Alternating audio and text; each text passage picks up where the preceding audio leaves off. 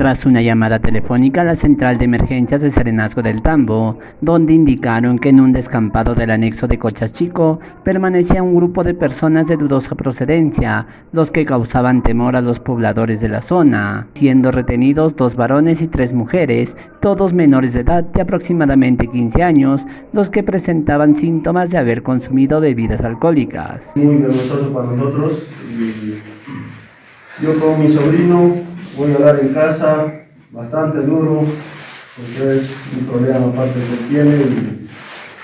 Y que tal vez, Jancito, con, esta, con este acontecimiento que está, que está pasando aquí, tú tal vez reflexiones, pienses las cosas que estás haciendo. Creo que sea para tu bien, algún día te vas a dar cuenta, yo sé que te vas a dar cuenta, esto va a ser para tu bien.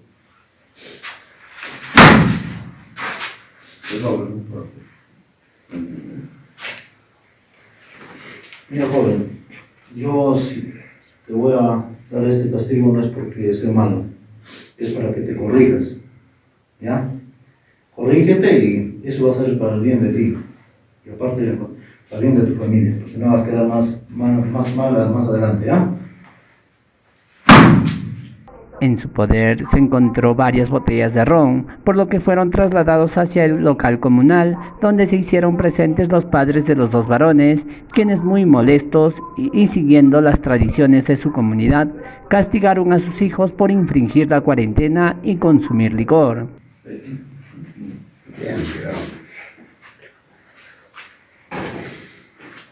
Creo que dicho, tienes que. El licor no, no trae nada bueno.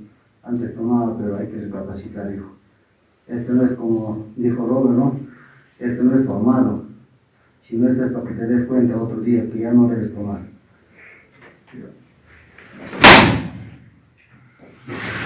Bien, señores, Las tres mujeres manifestaron no vivir en esa zona, por lo que fueron trasladadas hacia la comisaría de la Policía Nacional del Perú para poder ser identificadas y de esa manera poder ser entregadas a sus padres.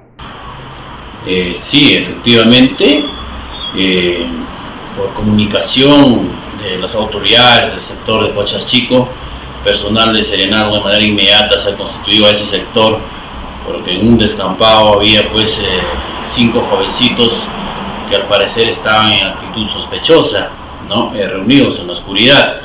Eh, conjuntamente con estas autoridades se ha podido ver que se trataba pues de cinco menores de edad, dos de ellos varones y tres damas.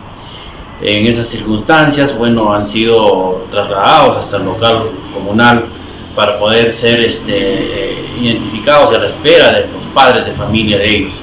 Eh, de los varoncitos se han hecho presente, sus papás, y siguiendo sus costumbres, pues eh, los han llegado a castigar por vulnerar el estado de emergencia, por eh, dedicarse a las bebidas alcohólicas, salir de casa a altas horas de la noche, en fin, todo lo que podían haber mencionado previo al castigo sus papás a estos menores, ¿no? Eh, en el caso de las niñas o adolescentes han sido trasladados a la comisaría para poder eh, ser puestos a disposición y ser entregados a sus padres eh, respectivos.